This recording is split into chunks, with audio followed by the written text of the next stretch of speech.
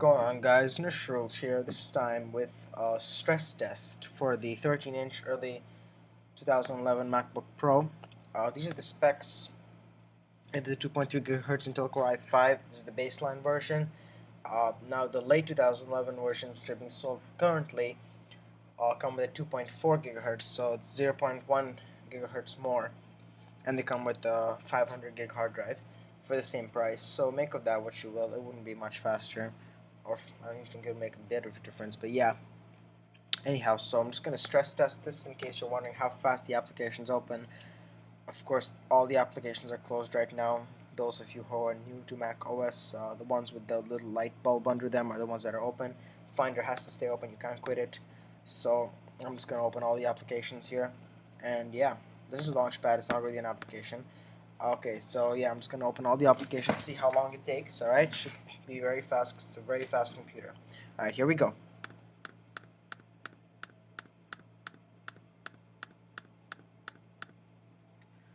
Okay, so most things already seem to be open. And uh, all of them are open now.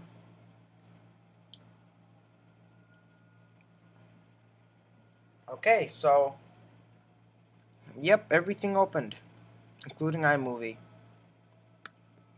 Those are all my apps. They're all open now. I've got a bunch of them. They all open pretty fast. Now, while all this is open, I want to show you guys a few things, how fast uh, the Finder is. So, say for example, I have like a bunch of pictures here. I've got some cool wallpapers here so I can just select a bunch of them. And if I want to see their info I just hold the option key and show inspector and it'll show the combined info. But what if I want to see them separately? I just click get info and that's how fast it is. It is just that fast.